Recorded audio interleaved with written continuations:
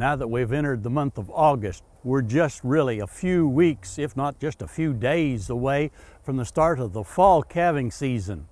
For those herds in Oklahoma that have bred the cows or especially replacement heifers to start calving around the 1st of September, I want to remind you of some research done here at Oklahoma State University uh, and published back in the year 2004.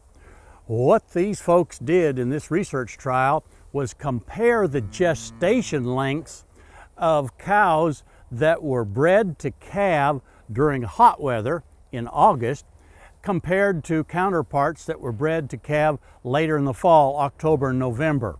All of these cows were artificially inseminated to the same bull, so there's no sire difference involved with the gestation length.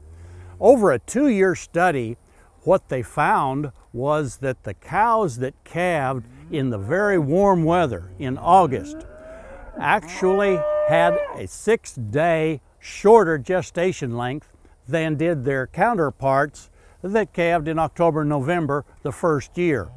When they repeated the study the second year, there was still a significant difference of four days. That tells me that as we get closer into the latter part of August, we had better start checking those uh, first calf heifers that uh, we had planned to start at, say, the 1st of September. Some of those are going to calve considerably earlier than that, just due to the fact that they're gestating in warm weather.